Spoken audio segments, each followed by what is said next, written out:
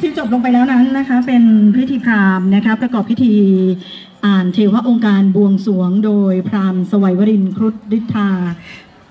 เวลารวมประมาณหนึ่งชั่วโมงนะคะเราต่อจากนี้ไปขออนุญาตเรียนเชิญ เหลืออีกหนึ่งท่อนโอเคค่ะชยันโตโพธิยามูเลสกยานังนันติวัต ตโนเอวังนวังวิทโยโหวิทยาปิทยมังอัลเลอปราจิตาปัลลังเกสิเสปทวิโกเรอภิเสกเกสัพพุทธานังอัคคปัตโตปโมตติสุนักตังสุมังกลังสุปปะตังสุโหตติตังสุขันโนสุโมหุตโตจะสุจิตังไปตัด กินังปทักกินังปณิทิเตปทักกินาปทักกินานิจัตตวานลพันตเทอาทักขิเน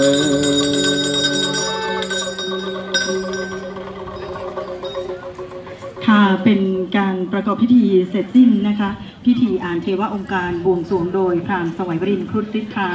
ณขณะนี้ท่านประธานสงฆ์นะคะพระครูอาพัฒธรรมคุณนะคะได้ ขึ้นที่บริเวณด้านบนนะคะ เรียนเชิญหัวหน้าส่วนราชการค่ะ เรียนเชิญหัวหน้าส่วนราชการตั้งแถวด้านหลังแท่นค่ะ แท่นค่ะ แท่นมาเลยค่ะ แท่นค่ะเสียค่ะขอเรียนเชิญหัวหน้าส่วนราชการทุกท่านค่ะค่ะได้มาตั้งแถวที่ด้านหลังแท่นค่ะ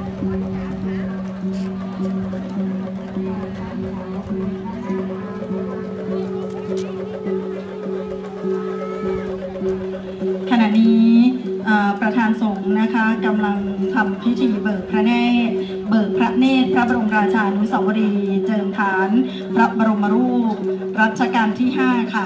เรียนเชิญ ท่านหัวหน้าส่วนราชการตั้งแถวบริเวณด้านหลัง ใช่ค่ะ ด้านหลังแท่น อาอ่านคำถวายสดุดีนะคะ อยู่ด้านหน้าช้างนะคะ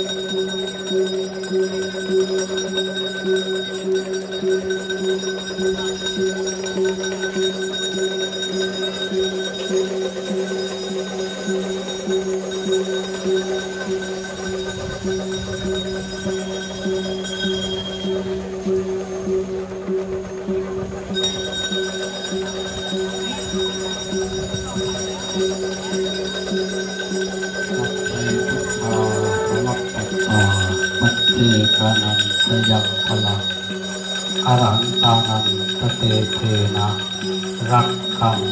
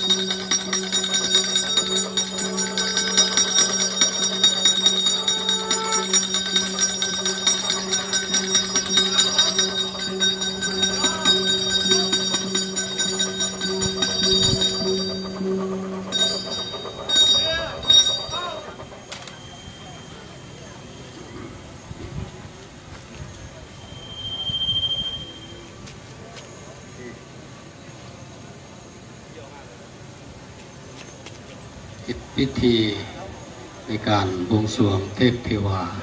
สิ่งศักดิ์สิทธิ์ และพระเดชพระคุณ ท่านพระครูอาพัฒธรรมคุณหลวงพ่อรอด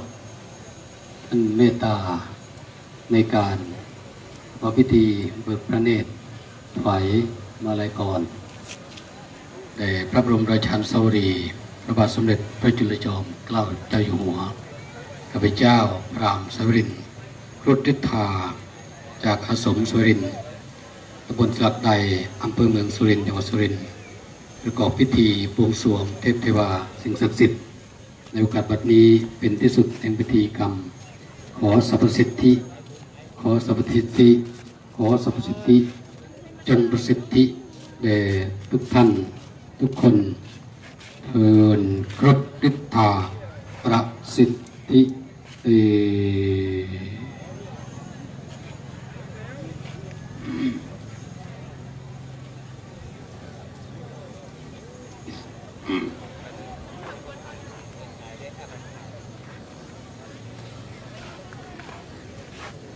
ลำดับต่อไปนะคะขออนุญาตเรียนเชิญท่านประธานในพิธีนะคะ ซึ่ง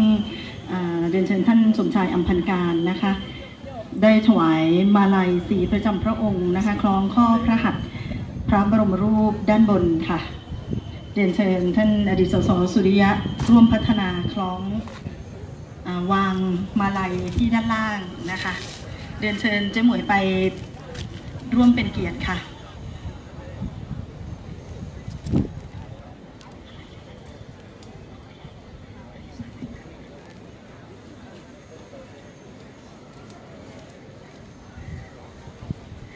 ขณะนี้นะคะท่านประธานใน พิธี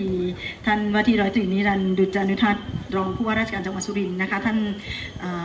ติดราชการด่วนนะคะ ท่านเดินทางกลับแล้วนะคะมอบให้ท่านนายอำเภอสมชายอัมพันการเป็นประธานในพิธี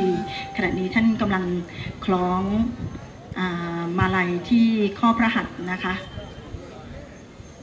พระบรมราชานุสาวรีย์ พระบาทสมเด็จพระจุลจอมเกล้าเจ้าอยู่หัว รัชกาลที่ 5 ค่ะ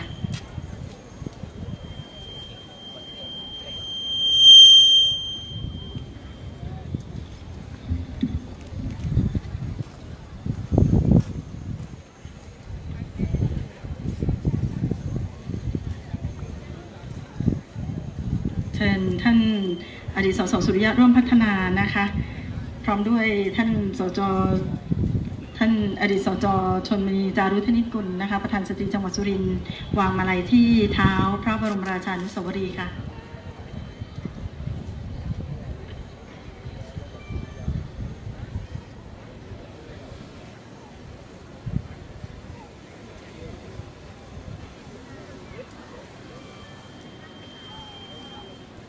เดินเชิญด้านล่างค่ะ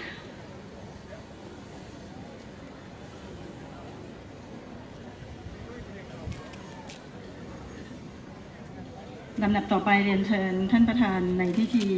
ถวายเครื่องสักการบูชาที่โต๊ะหมู่ตั้งเครื่องทองน้อยค่ะ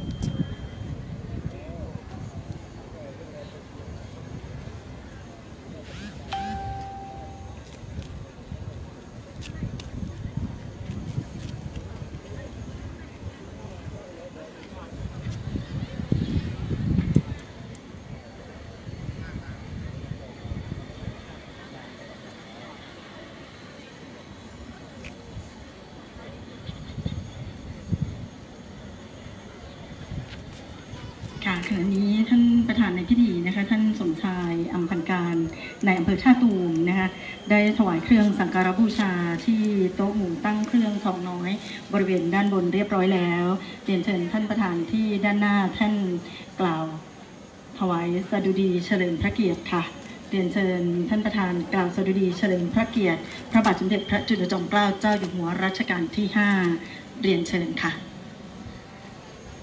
เนื่องในพิธีบวงสรวง พระบรมรูป พระบาทสมเด็จ พระปรมินทรมหาจุฬาลงกรณ์พระจุลจอมเกล้าเจ้าอยู่หัวรัชกาลที่ห้าข้าพุทธเจ้า นายสมชายอัมพันการ นายอำเภอท่าตูม พร้อมด้วยบรรดาข้าราชการพลเรือน ทหาร ตำรวจ พนักงานรัฐวิสาหกิจ องค์กรปกครองส่วนท้องถิ่น กำนัน ผู้ใหญ่บ้าน นักเรียนนักศึกษา และประชาชนชาวอำเภอท่าตูมทุกหมู่เหล่า ได้มาชุมนุมพร้อมกัน ณมณฑลพิธีแห่งนี้ เพื่อแสดงความกตัญญูกตเวทีรำลึกถึงพระมหากรุณาธิคุณ และถวายราชสดุดี แด่องค์พระมหากษัตริย์ ผู้ทรงพระคุณอันประเสริฐยิ่ง และทรงสร้างสรรค์ความเจริญรุ่งเรือง ให้แก่ประเทศไทย นานับประการ ล้วนก่อให้เกิดความบริบูรณ์พูนสุข แก่แผ่นดินไทย และด้วยพระราชวิเทโสบาย อันสุขุมกว้างไกล ยังผลให้ประเทศไทย รักษาความเป็นเอกราช มาได้ตราบทุกวันนี้ ด้วยความสำนึกตระหนักในพระมหากรุณาธิคุณอันยิ่งใหญ่ ปวงพระศกนิกรน้อมใจถวายพระราชสมัญญาว่า พระปิยมหาราช อันมีความหมายว่า มหาราชผู้ทรงเป็นที่รักของปวงชน และทางอำเภอท่าตูมได้กำหนดให้ วันที่ 10 กรกฎาคม 2561 เป็นพิธีบวงสรวงพระบรมรูป พระบาทสมเด็จพระปรมินทรมหาจุฬาลงกรณ์พระจุลจอมเกล้าเจ้าอยู่หัวรัชกาลที่ห้าเพื่อน้อมรำลึกถึงพระมหากรุณาธิคุณอันหาที่สุดมิได้ สืบเนื่องมาตั้งแต่พุทธศักราช 2453 กระทั่งถึงปัจจุบัน ข้าพุทธเจ้า นายสมชายอัมพันการ นายอำเภอท่าตูม พร้อมด้วยปวงประสบนิกรชาวอำเภอท่าตูม และอำเภอใกล้เคียง จังหวัดสุรินทร์ ขอน้อมรำลึกถึงพระมหากรุณาธิคุณ และพระเมตตาที่คุณอันหาที่สุดมิได้ ที่พระราชทานแก่เหล่าปวงชนชาวไทย หาพระองค์เสด็จดำรงณสวงสวรรค์ชั้นใด ขอได้โปรดทรงทราบ ด้วยทิพยญาณถึงความสุจริตกตัญญูกตะเวที ที่ปวงข้าพระพุทธเจ้า มีตามีต่อใต้ฝ่าละองธุรีพระบาท ทั้งขออำนาจบุญญานุภาพ พระบารมีแห่งพระบาทสมเด็จ พระปรมินทรมหาจุฬาลงกรณพระจุลจอมเกล้าเจ้าอยู่หัว และสมเด็จพระบรมมหากษัตราธิราชเจ้า จงโปรดดลบันดาลให้เหล่าอาณาประชาราษฎร ชาวอำเภอท่าตูมและอำเภอใกล้เคียงจังหวัดสุรินทร์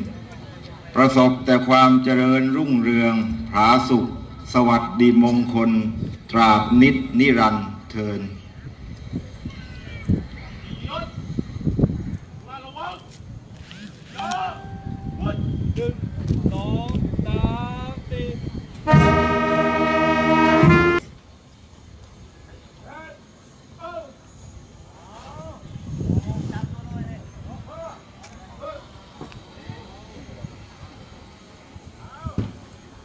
ค่ะค่ะหัวส่วนราชการพร้อมด้วยคณะนะคะถวายความเคารพและกลับประจำที่นั่งค่ะ ต่อไปนะคะก็จะเป็นขบวนช้างก็จะออกจากบริเวณพิธีก่อนนะคะ หลังจากนั้นจะเชิญช้างกลับเข้ามาอีกหนึ่งรอบนะคะลำดับต่อไปจะเป็นการรำวงสวงโดยประชาชนอำเภอท่าตูมมากกว่า 600 คนนะคะ ขอให้เอ่อผู้ที่จะรำนะคะ เตรียมตั้งแถวพร้อมทีละ 20 แล้วก็มีผู้กำกับแถว แต่ละแถวตามที่ได้ซัดซ้อมเตรียมความพร้อมมาค่ะ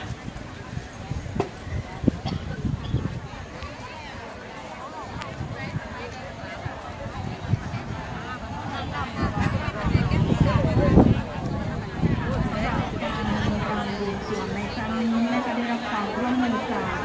จากตำบลบะ50 คนค่ะ เริ่ มเลยค่ะตำบลบะเข้าประจำที่เลยนะคะ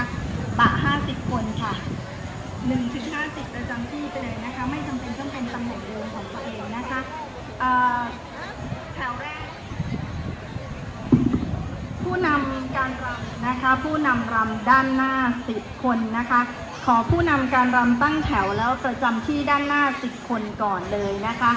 ที่เป็นผู้นำรำนะคะ ขณะนี้ที่เข้าสู่บริเวณพิธีเป็นประชาชนชาวอำเภอท่าตูมจากทั้งทุกตำบลแล้วก็เทศบาลด้วยได้แก่ตำบลแรก 52 คนจากตำบลบักค่ะ ตำบลที่ 2 ตำบลบัวโคก 50 คนค่ะ ตำบลที่ 3 ตำบลพรหมเทพ 60 คนค่ะ ตำบลทีสี่4 ตำบลหนองบัวนะคะ 60 คนค่ะ ตำบลที่ 5 ตำบลหนองเมที 50 คนค่ะ และองค์การบริหารส่วนตำบลท่าตูมอีก 120 คนนะคะตำบลเอ่อเทศบาลตำบลท่าตูมอีก 50 คนค่ะ จากเทศบาลเมืองแกอีก 40 คนนะคะ ตำบลชุ่มกุลา 60 คน และตำบลพลครบ 60 คน รวมแล้วมากกว่า 600 และทราบว่า ในการนี้เนื่องจากว่าชุดนะคะ ต้องขอขอบคุณทางองค์การบริหารส่วนจังหวัดสุรินทร์นะคะ ให้ยืมชุดในการรำบวงสรวงครั้งนี้มาจำนวน 650 ชุดนะคะผู้นำรำด้านหน้าขอเป็นให้ครอบคลุมพื้นที่นะคะ เคลียร์ช่องไฟให้กับให้กับตัวเองให้พอดีนะคะ ผู้นำรำทั้งหมดนะคะ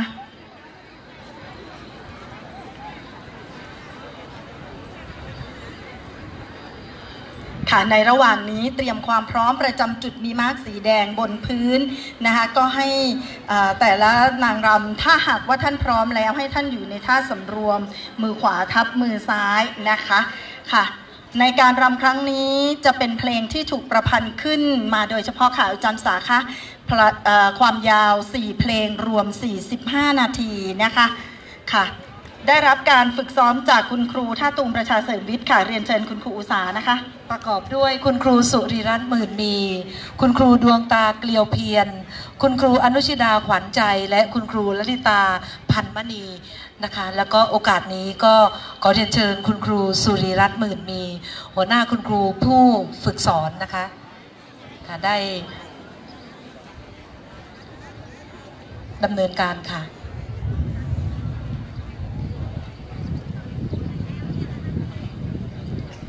ค่ะ ด้านหลังยังเคลียร์พื้นที่อยู่นะคะ เนื่องจากว่าเอ่อเกิน 600 นะคะ หากท่านเกิน 600 ปัดไปแถวที่ 31 ได้เลยนะคะ เนื่องจากว่าแต่ละแถวมี 20 คน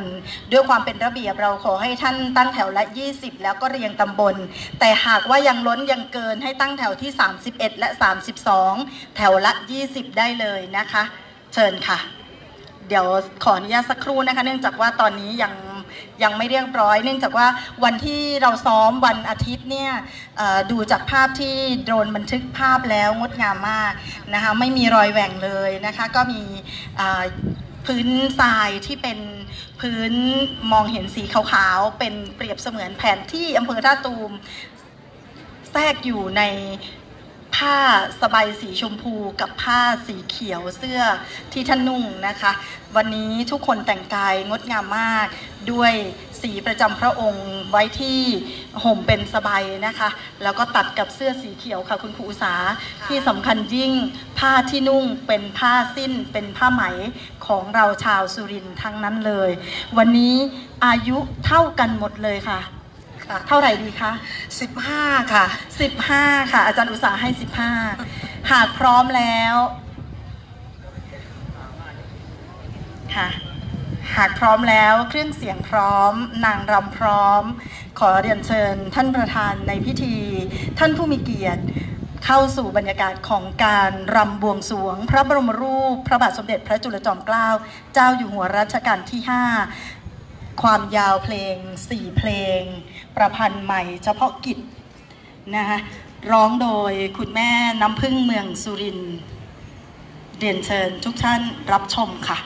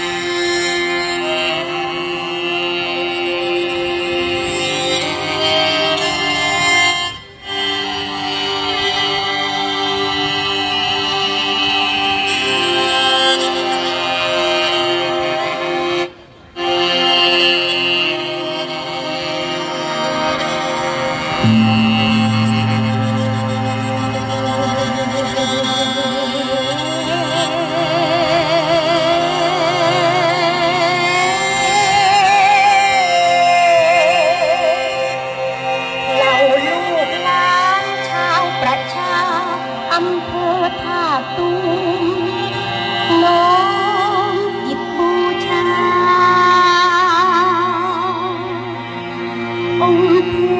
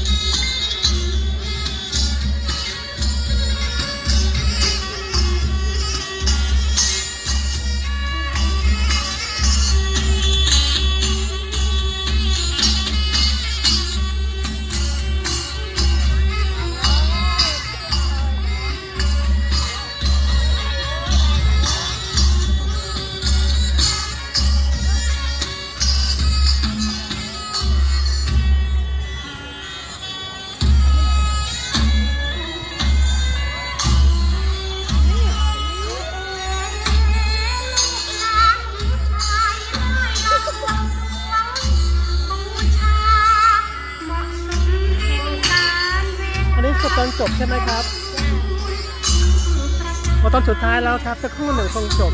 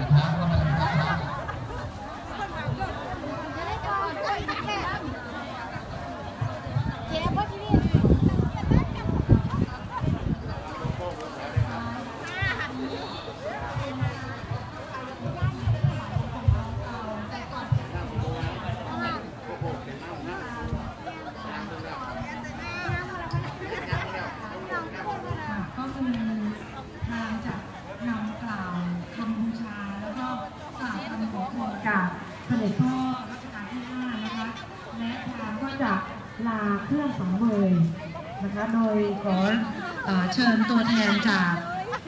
ตำบลทุก ๆตำบลนะคะตำบลละหนึ่งขออนุญาตเป็นแถวหน้าที่นำขบวนเลยนะคะค่ะ คนแถวหน้าที่นำรับอยู่ขณะนี้นะคะ เมื่อลาเครื่องสับเวยเรียบร้อยแล้ว ให้แถวหน้าเดินมาหาพราหมณ์ที่โต๊ะเครื่องบวงสรวงนะคะเพื่อนำเครื่องเพื่อนำพานนำเครื่องบวงสรวงทั้งหมดขึ้นด้านบนนะคะ ประดับที่ฐานพระบรมราชานุสาวรีย์ค่ะ แล้วก็กลับเข้าประจำที่เพื่อที่จะทำพิธีถวายบังคมนะคะช้างไม่มิดสาวงามหรอกนะคะเขาบอกว่าเอ่อดูดูนางให้ดูที่หางใช่ไหมคะดูค่ะอะไรมีนะคะ มีคุณครูท่านหนึ่งชื่อคุณครูเจียงนะคะค่ะคุณครูเสริมมิตรนะคะค่ะ คุณครูลลิตา พันมณีนะคะชื่อเล่นชื่อเกียงอาเกียงค่ะอ๋อเป็นชาวกระโพเหรอคะเป็นน้องเป็นอำเภอสนมมาอยู่อำเภอสนมอ๋อค่ะค่ะก็มาฝึกประสบการณ์วิชาชีพที่ทบวนะคะ เจ๊ดาวยังยิ้มได้ค่ะ อากาศบังเอิญเอ่อทราบไหมคะว่าที่ทั้ง 600 คนกำลังรำบวงสรวงอยู่ขณะนี้เนี่ย เป็นเวลาเที่ยงนะคะ แต่แดดไม่เหมือนเที่ยงเลยเนาะแดดเหมือนบ่ายสามโมงของวันอาทิตย์ที่แล้วเลยที่เราซ้อมใหญ่เลยนะแล้วนางรำไม่หิวข้าวด้วยนะคะไม่หิวน้ำด้วยค่ะเรียนเชิญหัวหน้าส่วนราชการด้านหน้านะคะเพื่อบันทึกภาพความทรงจำการบวงสรวงครั้งนี้พร้อมช้างและก็นางรำนะคะ อีกหนึ่งอ่าเรียกว่าเป็นภาพประวัติศาสตร์นะคะภาพเก็บประวัติภาพศาสตร์ประวัติศาสตร์ ทุกคนประนมมือค่ะเรียนเชิญพ่อพามค่ะ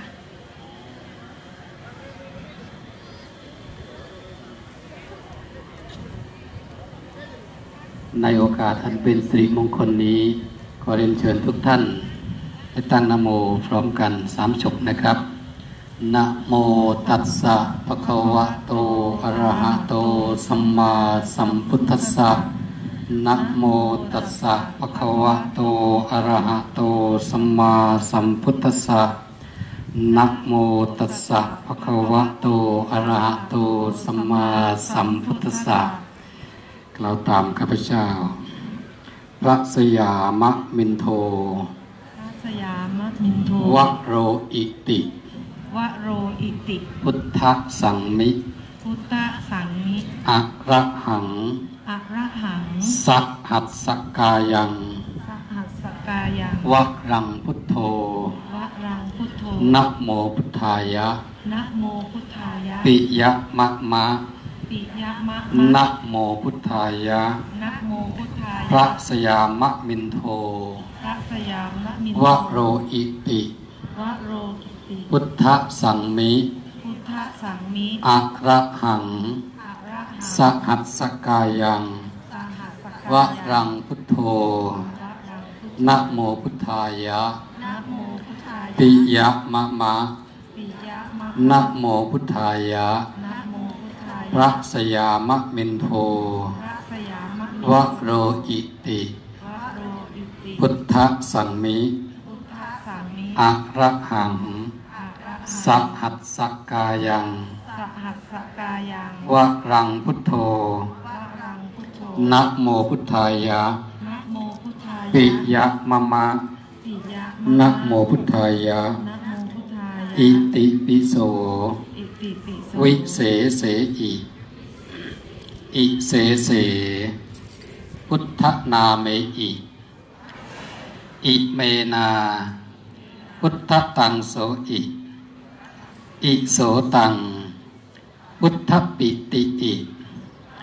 อะระหัง สหัสสกายังวะรังพุทโธ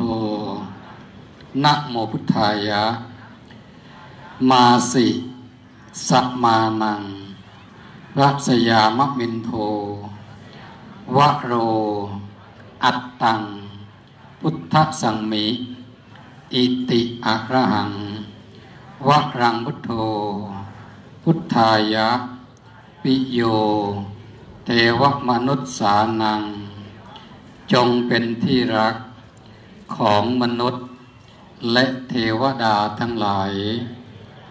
ปิโย นาคะสัมปันนานัง จงบังเกิดความรัก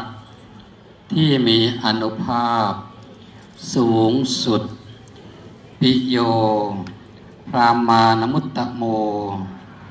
จงบังเกิดความรัก กับผู้มีอำนาจ ท่านเท้ามหาพรหมเจ้าจอมอินทรา นาครุฑและคนทัน ปินันทริยังนะมามินัง ความรัก ความยินดี ความเมตตา จงบังเกิดมี ในเรือนร่าง ข้าพระพุทธเจ้า เอ่ยชื่อตัวเองแต่ละท่านนามสกุลด้วยรามสวรินครุฑฤทธา อิติปิโส วิเศเสอิ อิเสเส พุทธนาเมอิ อิเมนา พุทธตังโสอิ อิโสตัง พุทธปิติอิ ปิยะมะมะนะโมพุทธายะ อิติปิโส วิเศเสอิอิเสเส พุทธนามอิอิเมนา พุทธตังโสอิอิโสตัง พุทธปิติอิอิโสตัง พุทธปิติอิปิยะมะมะนะโมพุทธายะ อิติปิโส วิเศเสอิอิเสเส พุทธนามอิ อิเมนาพุทธตังโสอิอิโสตังพุทธปิติอิปิยะมะมะนะโมพุทธายะข้าพระพุทธเจ้า ขอรับด้วยกล้าว ด้วยกระหม่อม ขอเดชะ ขอให้บุญบารมี ขององค์เสด็จพ่อรหาสูงยิ่งยิ่ง ยิ่งขึ้น และแกร่ง กล้ายิ่งยิ่งยิ่งขึ้นไปเธอ การถวายคำคาถาบูชา แล้วก็ขอพระพรจากพระองค์เสร็จแล้วลำดับต่อไปก็เชิญทุกท่านกล่าวคำลาเครื่องสังเวยเทพเทวาทุกท่านนะครับ เสสัง มังคลา ยาจามะ เสสัง มังคลา ยาจามะ เสสัง มังคลา ยาจามะขอสิ่งอันเป็นสัพพสิริมงคล ที่เทพเทวา สิ่งศักดิ์สิทธิ์ทั้งหลาย ได้บริโภค ได้สวยแล้ว ข้าพเจ้าทั้งหลาย ขออนุญาต เพื่อบริโภค เพื่อการดื่ม การรับประทาน ขออาหารอันเป็นทิพย์อายุทิพย์ วันนะทิพย์พละทิพย์สิ่งทั้งหลายที่เป็นทิพย์จงบังเกิดมีแก่ข้าพระพุทธเจ้า ทั้งหลายด้วยเถิดสาธุเสร็จแล้วครับ ต่อไปขอเชิญพิธีกรครับค่ะในโอกาสนี้นะคะขอตัวแทนนางรำซึ่งเป็นตัวแทนแถวหน้าที่นำขบวนรำนะคะ เดินไปที่โต๊ะเอ่อเครื่องบวงสรวงค่ะ ไปที่หาไปหาพราหมณ์นะคะพราหมณ์จะให้เชิญพานเครื่องบวงสรวงขึ้นเอ่อผ่านใบสีขึ้นด้านบนนะคะ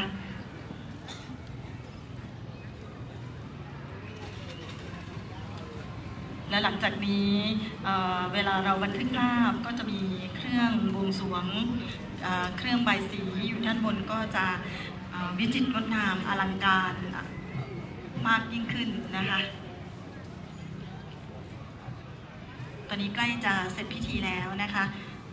อีกสักครู่ก็จะเข้าสู่พิธีขั้นตอนสุดท้าย คือพิธีการถวายบังคมนะคะ ซึ่งเราก็ได้ซ้อมแล้วสำหรับนางรำแต่สำหรับช้างก็รู้แล้วนะคะ เพราะว่าช้างก็ถวายบ่อยนะช้างก็มีท่าของเขา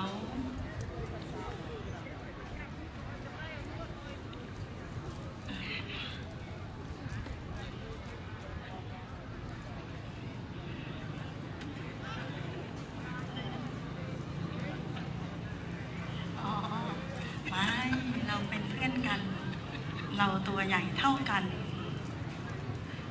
เราเป็นคนเมืองช้าง เราก็เลยหุ่นช้าง เราเป็นโลโก้ของอำเภอท่าตูมช้างก้าเชือกนะคะ พร้อมด้วยนางรำสาวงาม อายุ 15 650 กว่า คนนะคะ เพราะว่าเสื้อจากอบจมี 650 แต่ไม่พอมีหลายๆท่านไปตัดเอง เป็นผ้าไหมเป็นผ้า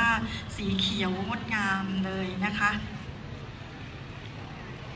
ค่ะเดี๋ยวรอทีมงานาวางเครื่องบวงสรวง วางผ่านใบสีด้านบนให้ถูกต้องตามระเบียบพิธี เวลาเราบันทึกภาพ เวลาเราช่วยกันดูแลรักษาก็จะได้ง่ายขึ้นนะคะ เมื่อเสร็จลงมาก็หัวหน้าส่วนราชการเรียนเชิญประจำที่ที่พักเป็นอันเสร็จพิธีนะคะเพราะว่าหัวหน้าส่วนจะถวายความเคารพไปแล้ว จะไม่ไม่ต้องบังคมถวายบังคมพร้อมช้างกับนางรำ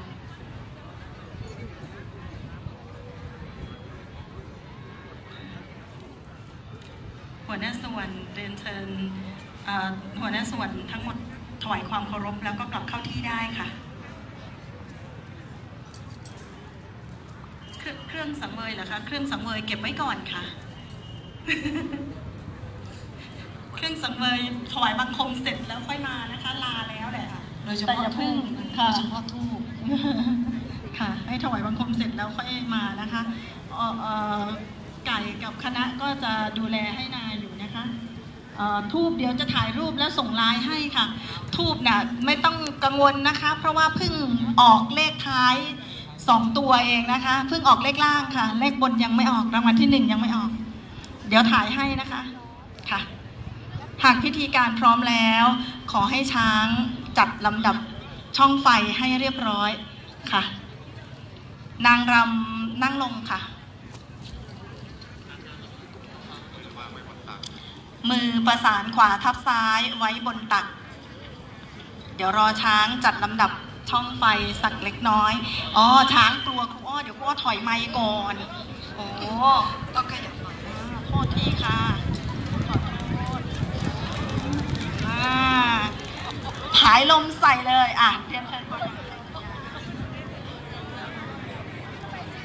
เตรียมพร้อมนะครับ ต่อไปจะเป็นท่าเตรียมนะครับ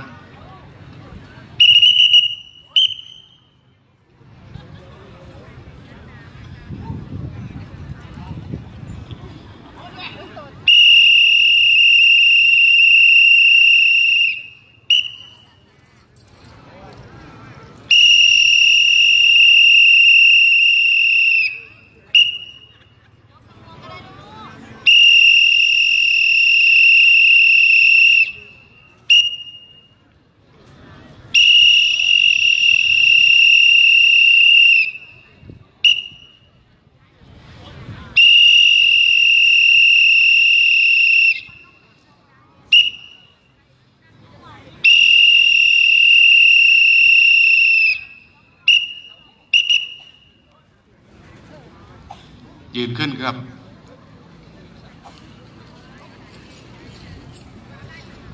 ให้ช้างเคลื่อนออกก่อนนะคะก้าวเชือกทั้งด้านตะวันออกและตะวันตกค่ะ ส่วนนางรำยังยืนอยู่ก่อนนะคะอ๋อค่ะท่านบอกให้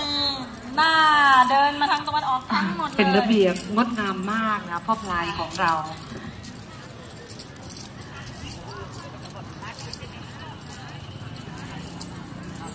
ค่ะ ครั้งแรกเราซ้อมทีละ 5 แถว แต่ตอนนี้บ่ายโมงแล้วขืนครูอ้อให้เข้าทีละ 5 แถวก็จะลำบากเลย ทั้งหมดนางรำทั้งหมดกลับหลังหัน อย่าแตกซ้าแตกทรายนะจ๊ะเดินให้งามเหมือนตอนเข้ามา คราวนี้เดินเข้าเต็นท์ค่ะ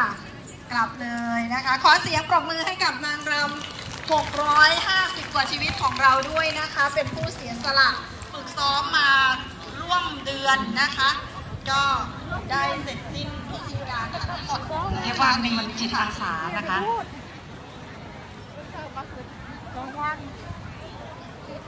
วันนี้จบภารกิจแล้วนะครับ เจอกันภารกิจถัดไปเนาะวันนี้สวัสดีท่านผู้ชมกันนี้ก่อนเนาะสวัสดีครับตอนนี้